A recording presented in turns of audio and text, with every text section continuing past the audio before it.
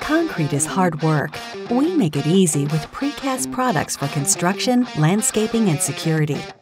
Introducing EZ-TUBE, a patented stackable precast deck footing designed to streamline your building process. Just prep the site as normal, stack the sections, and you're ready to build within minutes, rain or shine. To install, you will need crushed stone, a level, a shovel, and 3000 minimum PSI mortar. Before digging, always remember to call DigSafe at 811. Dig a hole or trench to the required depth. For demonstration purposes, our stackable pier footing is above ground, but yours should be below the frost line. Prep bottom of hole or trench with crushed stone as necessary. Thread the anchor rod through the base section. Place base and anchor into position. The base can be easily rolled into place.